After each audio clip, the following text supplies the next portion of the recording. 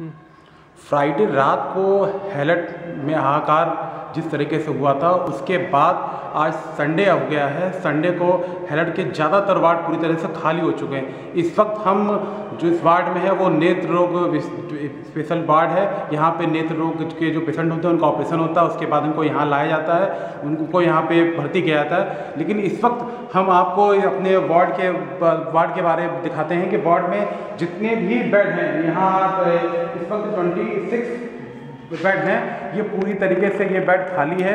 यहाँ पे एक ही पेशेंट नहीं है, सब पेशेंट जा चुके हैं। तो भी तीन दिन होने वाले हैं और डॉक्टर यहाँ नहीं आए हैं। मरीजों का चेकअप नहीं हुआ है। इस वजह से ये वार्ड लगातार खाली होते जा रहे हैं। अब आपको हम ले चलते हैं दूसरे वार्डों की और वहाँ का हाल दिखाते हैं कि आज वहाँ क्या स्थिति है।